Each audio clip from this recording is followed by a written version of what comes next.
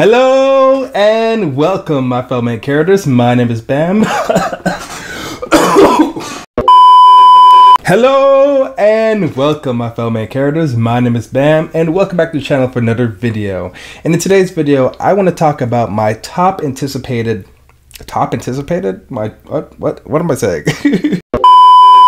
Hello and welcome my fellow main characters. My name is Bam and welcome back to the channel for another video. And in today's video, I want to talk about my top three to four anime that I'm looking forward to coming out this season. My apologies guys, I actually am just recovering from being sick, so my voice and all of this right here is still in recovery mode so my apologies about that. So the first anime on my list that i'm super excited to check out is uzumaki. It's coming out september 28th based on the myanimelist.net it's only rated to have four episodes. So it's going to be a short series but i'm super looking forward to it. Because if you guys don't know uzumaki is a really well-known and accredited horror manga that came out a long time ago. It's one of those mangas that I never got around to reading about. I've always heard legends about. And I actually read another work, I'm forgetting the name of it, made by the same creator that when I read it, guys, a little backstory about me. I am really big into horror stuff. I'm really big into like just watching zombie movies, horror movies, vampire stuff.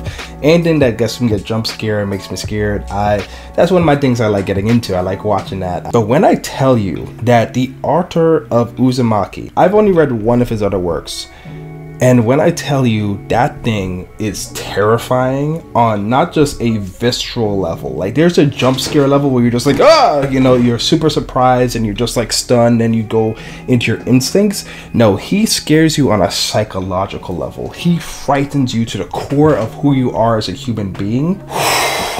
And Uzumaki is his most popular work. So I'm really looking forward to the anime dropping Uzumaki that's coming out September 28. So I'm super excited about that one.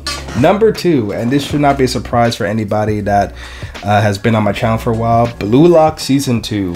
I love season one, man. Season one of Blue Lock was absolutely fantastic. Blue Lock, in my opinion, is right up there to Haikyuu. So I'm looking forward to season two dropping. I'm looking forward to more madness and insanity and more egotism coming from Blue Lock. I have heard a few rumors about a lot of the Blue Lock creators that cover the manga not being too happy with how the trailer came out for season two. I haven't watched the trailer for season two yet. So I'm waiting until the anime drops on October 5th. I'm hoping that's going to be a banger. Um, Blue Lock Season 2. Excited about that. Number 3. The anime that I know without a shadow of a doubt in my heart, I believe with 100% certainty, my fellow characters, that this is going to be the banger of the year. This is going to be the anime that defines 2024. And that's Dandadan, bro. Oh my gosh, dude. From the trailer, from the music, that all the stuff that's been released for it so far. I've also have a little bit of the Sharingan and foresight when it comes to Dandadan because I have read I've read up to like a hundred chapters in the in the manga. So I know how good quality and top tier this series is. Seeing confirmation from what we got in the trailer in terms of the animation and the art style and the music direction, oh, dude, dude, dude, dude, dude, dude, dude, dude, dude, dude, dude. There's not even a question in my mind that Don Don won't be the most well-rated top tier. At least it's going to win 2024, guys. Don is going to win 2024. If you do not have Don Don on your watch list, you would like to put ketchup in your oatmeal. There's no other. You you just don't make any sense. A fourth anime that I'm going to be checking out for this year or keeping my eyes out for is Dragon Ball Daima. Dama. I think I'm pronouncing it right. Mainly because it's a Dragon Ball franchise.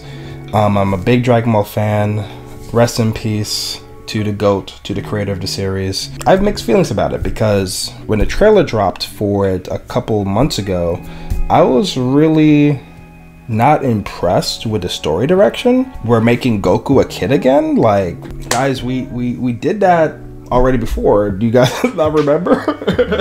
I'm not too sure how it's to be. I'm definitely to be there for it for at least first couple episodes, but I don't. It's one of those series that is kind of like a dark horse for me. It's like it could be really good, or it can be just a cash grab. We kind of have to see how it goes. I'm keeping an eye out for it because there's Dragon Ball content but honestly, the current story direction that they have established for it, I'm not that excited for it. But anyways, my family characters, those are the top anime that I'm looking forward to this fall season coming up. But let me know what anime you guys are looking forward to. Does your list of anime you're excited for match my list? Thank you guys for watching this video.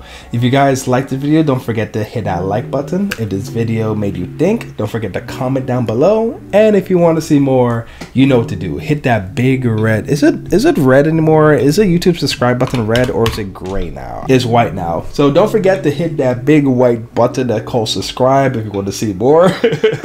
and always remember before you go, my filmmaker character said, Yes, you are the main character of your own story. My name is Bam. I'll catch you guys in the next one. Peace.